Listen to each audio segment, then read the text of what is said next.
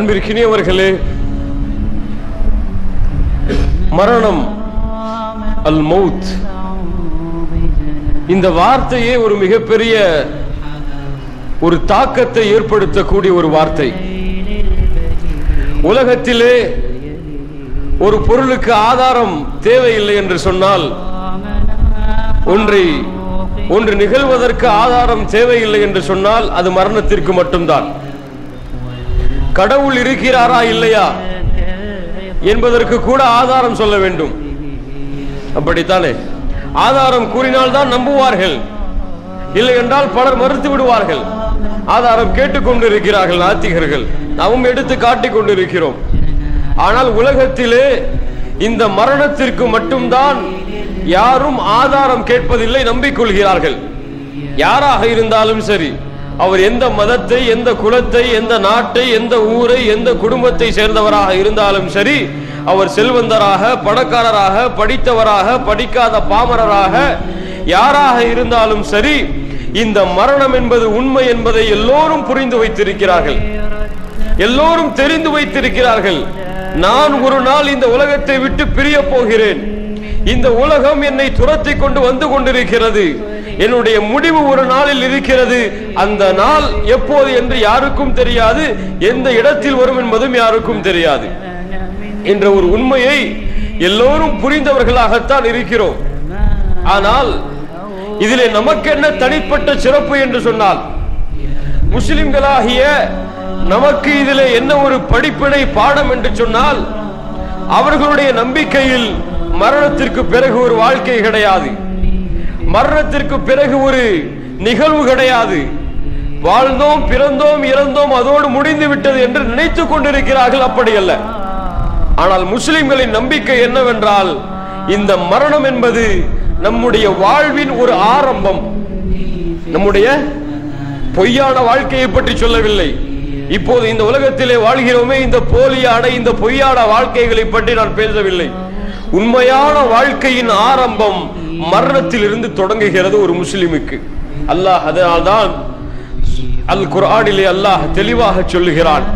குல்லு நப்சின் தாஇகத்துல் மௌத்.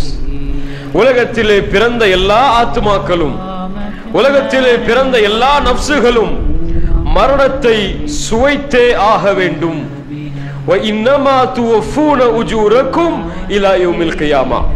இந்த உலகத்திலே அவர்கள் செய்த கூலிகளுக்கு உண்மையான கூலியை அல்லாஹ் நாளை மறுமையில் தான் கொடுப்பான் என்று அல்லாஹ் சொல்லுகிறான். அன்பு சகோதரர்களே சகோதரிகளே மரணம் என்பது நம்மை துரத்தி வந்து கொண்டிருக்கிறது. ஒவ்வொரு நாளும் அந்த மரணத்தை நோக்கிதான் நம்முடைய பாதையை நாம் நகர்த்தி கொண்டிருக்கிறோம். நம்முடைய வாழ்நாளில் ஒவ்வொரு நிமிடங்கள் கழியும் பொழுதும் ஒவ்வொரு வருடங்கள் கழியும் பொழுதும் அந்த மரணம் நம்மை நெருங்கிக் கொண்டிருக்கிறது. குல் இன்னல் மௌத்தல்லதி தஃபிர்ரூன மின்ஹு ஃபஇன்னஹு முலாக்கிக்கும் அல்லாஹ் சொல்லுகிறான் மனிதனே எந்த மரணத்தை பார்த்து நீ பயப்படுகிறாயோ அல்லது விரண்டு ஓடுகிறாயோ அந்த மரணம் உன்னை சந்தித்தே ஆகும். எங்கிருந்தாலும் சரி எந்த அறையில் எந்த ஊரில் எந்த காட்டில் எந்த குகையில் வசித்தாலும் சரி மரணம் அப்பிக்கொள்ளும் ஐனமா தகூனு யுதுரிக்குமுல் மௌத்து வலவ் குன்தும் ஃபீ புரூஜிம் முஷையதா. நீ இரும்பு கோட்டையை பலமான ஒரு கோட்டையை கட்டிக்கொண்டு உள்ளே வாழ்ந்தாலும் அங்கேயும் உன்னை மரணம் தொடர்ந்து விடும் என்பதை பயன் என்பதை மறந்து விடாது. சொல்லுகிறான் பாருங்கள். ஐனமா கூணு நீ எங்கே வாழ்ந்தாலும் சரி எந்த இடத்தில் வசித்தாலும் சரி எவ்வளவு இரும்பு சுவர்களுக்குள் நீ வாழ்ந்தாலும் சரி காற்றே புகாத இடத்திலே நீ வாழ்ந்தாலும் சரி அழைப்பவர் அழைக்கும் பொழுது நீ பதில் கொடுத்தே ஆக வேண்டும் என்பதில் எந்த மாற்றமும் இல்லை. இந்த ஒரு மறுப்பும் இல்லை அன்பு சகோதரர்களே. அந்த மரணம் என்பது எனக்கும் உங்களுக்கும் நிச்சயம். நாம் பேசுவது யாருக்கோ மரணமாக போகிறார்கள் என்பதை பற்றி நாம் பேசவில்லை. நான் மரணமாகும் போது என்னுடைய நிலைமை என்ன? நீங்கள் மரணமாகும் போது உங்களுடைய நிலைமை என்ன? அந்த மரணத்திற்கு நாம் தயாராகிவிட்டோமா? அந்த மரணம் நம்மை அடைவதற்கு நாம் முழு முயற்சியோடு நம்முடைய வாழ்க்கையில் செயல்பட்டு கொண்டிருக்கிறோமா என்பதை பற்றி தான் நாம் இங்கே பேசப் போகிறோம். அன்பு சகோதரர்களே எப்போது ஒரு மனிதன் மரணம் அடைய போகிறான் என்று தெரிகிறதோ எப்போது ஒரு மனிதன் மரணம் அடைய போகிறான் என்று தெரிகிறதோ அப்போது அவனுக்கு இந்த உலக வாழ்க்கை கசந்து விடும் அவனுக்கு உலக வாழ்க்கை என்ன ஆகிவிடும் சொல்லுங்கள். கசந்து விடும் அல்லாஹுடைய தூதர் சல்லாஹு அலஹி வசல்லம் சொன்னார்கள் கால்நடைகளுக்கு கால்நடைகளுக்கு அந்த கால்நடைகள் எப்போது மரணமாக போகிறோம் என்பது தெரிந்துவிட்டால் நீங்கள் கால்நடைகளில் இருந்து கொளுத்த மாமிசங்களை உங்களால் சாப்பிட முடியாது. என்ன சொல்ல வருகிறார்கள்? அந்த கால்நடைகள் அந்த பயத்தால் அந்த உருக்கத்தால் உணவுகளை திங்க சாப்பிடாமல் உடம்பிலே கறி வைக்காது என்று அல்லாஹ்வுடைய தூதர் ஸல்லல்லாஹு வலிவசல்லம் சொல்லுகிறார்கள். எல்லா கால்நடைகளும் உடைய நிலைமையும் இப்படித்தான். அது அதற்கு தெரியாது.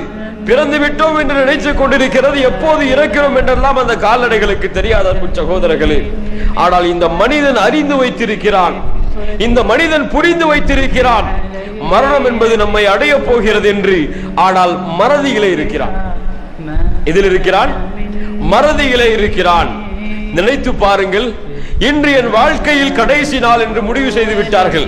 மருத்துவர்களோ அல்லது என்னுடைய நிலைமையோ முடிவு செய்யப்படுகிறது. என்னுடைய பார்வை எப்படி இருக்கும்? என்னுடைய பேச்சு எப்படி இருக்கும்? என்னுடைய செயல்பாடுகள் எப்படி இருக்கும்? நான் சாப்பிடும் உணவு எப்படி இருக்கும்? யோசித்து பார்க்கிறோமா? அந்த கடைசி நாள் முடிவு செய்யப்பட்டு விட்டால் என்னுடைய வாழ்க்கை எந்த தரத்திலே இருக்கும் என்பதை யோசித்து பாருங்கள். நம்முடைய வாழ்க்கை எதன்படி மாறும் என்பதை யோசித்து பாருங்கள். எதை நோக்கி செல்ல போகிறோம் என்று தெரிந்து அந்த ரப்புக்காக அந்த ரப்புடைய மார்க்கத்தை பின்பற்றுவதற்காக நாம் மாறிவிடுவோமா மாட்டோமா? ஆனால் அந்த நினைவு இல்லாத காரணத்தால் அந்த மரணத்தின் மறதியின் காரணத்தால் மனிதன் பாவங்கள் செய்வதில் அலட்சியம் காட்டுகிறான். பாவங்கள் செய்வதில் அலட்சியம் காட்டவில்லை. மனிதன் பாவங்களை செய்வதிலே முயல்கிறான். அதற்காக முழு முயற்சியோடு ஈடுபடுகிறான். ஏன்? அவன் மரணத்தை நினைவு கூறவில்லை. தன்னுடைய வாழ்நாள் தொடரும் என்று அவன் நினைத்துக் கொண்டிருக்கிறான். இன்னும் அவகாசம் இருக்கிறது. இன்னும் அவகாசம் இருக்கிறது. இன்னும் நாட்கள் இருக்கிறது என்று அந்த மனிதன் எண்ணிக்கொண்டிருக்கிறான். அப்படி அல்ல அன்பு சகோதரர்களே. அப்படி அல்ல ஒமா ததிரி நஃப்சுன் மாதா தக்ஸிபு கதன் ஒமா ததிரி நஃப்சுன் பி ஐ அருதின் தமூத். அல்லாஹ் என்ன சொல்லுகிறான் குரானிலே சூரத்துல் லுக்மானிலே என்ன சொல்லுகிறான்? உலகத்திலே பிறந்த யாருக்கும் தெரியாது. ஐந்து அடி- ஐந்து கல்விகளை விசேஷமாக அல்லாஹ் தன்னுடைய கட்டுப்பாட்டில் வைத்திருக்கிறான். அதுல இரண்டு கல்விகள் என்ன தெரியுமா? ஒமா ததிரி நப்சுன் மாதா தக்ஸிபு கதா. நாளை அந்த ஆத்மா என்ன செய்யும் என்ன சம்பாதிக்கும் என்பதை யாருக்கும் தெரியாது. சொல்லலாம் நம்ம இன்னைக்கு இதை செய்யலாம் நாளைக்கு இதை செய்யலாம்னு சொல்லி. உறுதி இருக்கிறதா? செய்ய முடியுமா? இல்லை என்பது சகோதரர்கள் அது போல ஒமா ததிரி நஃப்சுன் பி ஐ அர்தின் தமூத். எந்த ஒரு ஆத்மாவிற்கும் தெரியாது அந்த ஆத்மா எந்த இடத்திலே மரணமடையும் என்பதும். விபத்திலே மரணம் அடையலாம் நடுரோட்டிலே மரணம் அடையலாம் எப்போதும் நான் உதாரணத்தை சொல்லுவதுண்டு நீங்கள் கழிவறைக்குள் சென்று அந்த கழிவறவை அந்த கழிவறையை பூட்டி திறக்க முடியுமா? என்று சொல்ல முடியாது. உலக வாழ்க்கை எப்படி? கழிவறைக்கு சென்று அந்த கழிவறையின் கதவுகளை பூட்டி அந்த கழிவறையின் கதவுகளை என்னால் திறக்க முடியும் என்று யாராலும் உறுதியாக சொல்ல முடியாது. ஏன்? எத்தனையோ உயிர்கள் அந்த கழிவறையிலே சென்றிருக்கிறது. எத்தனையோ உயிர்கள் அந்த கதவை கூட திறக்க முடியாத நிலையில் இறந்திருக்கிறது. அல்லாஹ் அப்படி வைத்திருக்கிறான் உலகத்தின் நியதியை. எந்த நபிக்கும் அல்லாஹ் அந்த அறிவை கொடுக்கவில்லை. எந்த நேசருக்கும் அல்லாஹ் அந்த அறிவை கொடுக்கவில்லை. அவர் எந்த இடத்தில் மரணமடைவார் என்று. எப்படிப்பட்ட தாக்கம் பாருங்கள் என்பது சகோதரர்களே. நம்முடைய புரிதல் அந்த புரிதலின் தன்மை குறைவின் காரணத்தால் அதை பற்றிய கவலை இல்லாமல் இருக்கிறோம். ஆனால் ஹபீபே முஸ்தபா அல்லாஹுடைய தூதர் ஸல்லல்லாஹு அலைஹி வஸல்லம் அஞ்சினார்கள். பயப்பட்டார்கள். அல்லாஹ் என்னுடைய மரணத்தின் முடிவை நான் மரணமாகும் பொழுது என்னுடைய மரணத்தை நல்ல மரணமாக ஆக்கி தருவாயாக. அல்லாஹ்விடத்திலே பிரார்த்தனை செய்தார்கள். யா அல்லாஹ் விழுந்து சாவதை விட்டும் மூழ்கி சாவதை விட்டும் இடிந்து சாவதை விட்டும் என்னை பாதுகாப்பாயாக. இப்படி பிரார்த்தனை செய்தார்கள். யா அல்லாஹ் விழுந்து சாவதை விட்டும் இடிந்து சாவதை விட்டும் மூழ்கி சாவதை விட்டும் எரிந்து சாவதை விட்டும் என்னை பாதுகாப்பாயாக என்று அல்லாஹுடைய தூது ஸல்லல்லாஹு அலைஹு வஸல்லம் துஆ செய்தார்கள். நமக்கு அதை பற்றிய கவலை எல்லாம் இல்லை. எங்கே வர்ணமடைய போகிறோம் என்று தெரியாது. வெளியூருக்கு சென்றிருப்போம் திருப்பி வர முடியுமா? உறுதி கொடுக்க முடியுமா? ஒரு பஸ்ஸிலே ஏறி இருப்போம் அந்த பஸ் அந்த இடத்தை அடைந்திருக்குமா? அடையும் என்று உறுதியாக சொல்ல முடியுமா? இல்லை அன்பு சகோதரர்கள். பல ஆண்டுகளாக வெளிநாடுகளில் இருந்து தங்களுடைய ஊரை சந்திக்க வருவதற்கு வருவதற்காக நிம்மதி பெருமூச்சோடு அந்த ஏறு அந்த பிளேட்டில் ஏறுவார்கள். முடிந்துவிடும். அல்லாஹ் அப்படித்தான் உலக வாழ்க்கையின் நேதிகளை வைத்திருக்கிறான். அன்பிற்கிடையவர்களே அந்த மரணத்தின் நிலைமை. அந்த மரணத்தின் காட்சிகள் கண்களுக்கு முன்னால் என்னுடைய உடம்பை கொண்டு வந்து பார்க்கிறேன். உங்களுடைய உடம்பை கொண்டு வந்து பாருங்கள். அல்லாஹ் மலக்குகளுக்கு கட்டளையிடுவான். மலக்குல் மௌத் மலக்குல் மௌத் அவருக்கு பேர் என்ன? மலக்குல் மௌத் மௌத்துடைய மலக் இமாம் குருத்துபி ரஹ்மத்துல்லாஹி அலைஹி சொல்லுகிறார்கள்.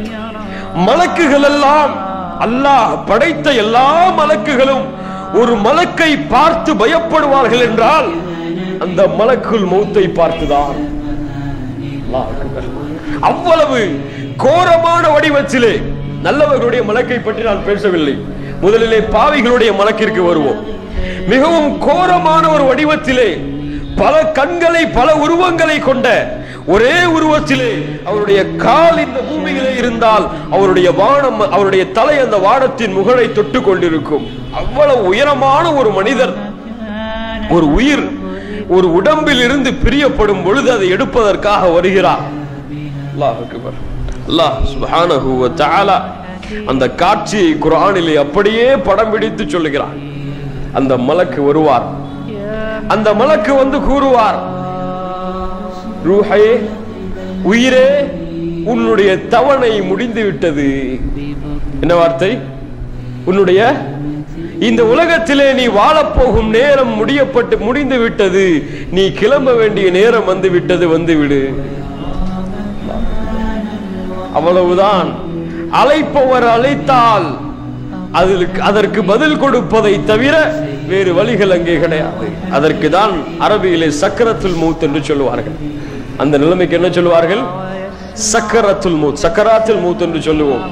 சக்கராத் என்றால் பன்மை சக்கரத்துல் மூத் மய- மௌத்துடைய மயக்கத்தின் நிலைமை அன்பு சகோதரர்களே அந்த நிலைமையிலே ஒரு பாவியான ஒரு பாவத்திலே மூழ்கி இருந்த அல்லது குஃபிரிலே காஃபிராக வாழ்ந்த உயிருடைய நிலைமை என்பதை அல்லாஹ் உயிருடைய நிலைமை என்ன என்பதை அல்லாஹ் குர்ஆனிலே சொல்லுகிறான். ஹத்தா இதா ஜாஹதஹுமுல் மௌத்து கால ரப்பிர்ஜிஊன். இந்த வார்த்தையை அந்த மலக்கு கூறிய மாத்- மாத்திரத்திலேயே அந்த உயிர் அல்லாஹ்விடத்திலே சொல்லும் அந்த மலக்கிடத்திலே சொல்லுவார்கள் ரப்பி இர்ஜிஊன். என்னை உலகத்திலே திருப்பி அனுப்பி விடுங்கள் உலகத்திலே திருப்பி விடுங்கள் லஅல்லி அஅமலு சாலிஹன் ஃபீமா தரக்த் சொல்லுவார்கள். உலகத்திலே நாங்கள் விட்டு வந்த எல்லா அமல்களையும் செய்து